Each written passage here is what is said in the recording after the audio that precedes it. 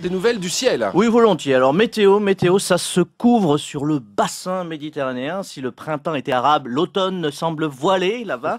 Après la Tunisie, l'Égypte, c'est au tour du Maroc de tremper son croissant dans le thé vert. C'est un islamiste, Abdelika Benkiran, qui vient d'être nommé Premier ministre. Alors, chers auditeurs inquiets, avant d'annuler vos vacances, soyez rassurés, c'est l'islam modéré. C'est cool, c'est cool.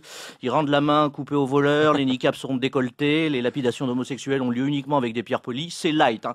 Et puis, puis, en tant que touriste, on s'en fout hein, du régime politique. Tant que les crudités du buffet sont lavées à l'eau minérale, ça va.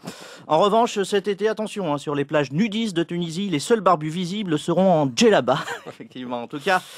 Gageons que BHL, hein, face, à, cette menace d'islamisme, n'écoutant que sa morale, va immédiatement se séparer de son riad à Marrakech. Euh, après le ciel, revenons sur Terre. Oui, au registre nourriture terrestre, religion. Encore un curé pris la main dans le slip.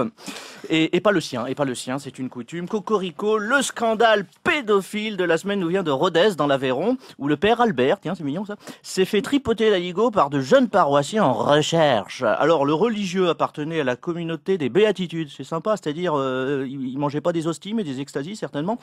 Un collectif de ravis de la Vierge qui, manifestement, ne s'agenouillait pas que sur euh, la prière. Le père Albert, hein, que les membres de la communauté avaient surnommé affectueusement Monsieur Papou, c'est mignon ça, et son épouse Madame Léchouille, et son cousin l'abbé Gratouille, a reconnu des attouchements sur 57 enfants, yes. Sa hiérarchie était au courant, mais a gardé le silence, la pudeur, hein, certainement. Hein. Alors attention, hein, pour sa défense, le père Albert s'est comparé à un renard dans un poulailler. Vous voyez que l'image est hasardeuse, on a rarement vu une poule faire une gâterie à un renard. Alors, ça y est, euh, rassurez, c'est un cas isolé, ne jetons pas la pierre à tous les prêtres, c'est mal, c'est mal. Et en plus, c'est dangereux, on risque de blesser un enfant. Régis Maillot, vous pouvez le retrouver aussi sur RTL.fr, et puis de toute façon, vous le retrouverez à 11h avec euh, Stéphane Bern hein, et toute son équipe dans La Bonne Heure. Alors, va falloir réviser, hein, Vanina, euh, du côté de chez Swan, etc. Vous allez chanter avec Dave. dans les aigus, on va partir. Allez, à tout à l'heure, à partir de 11h.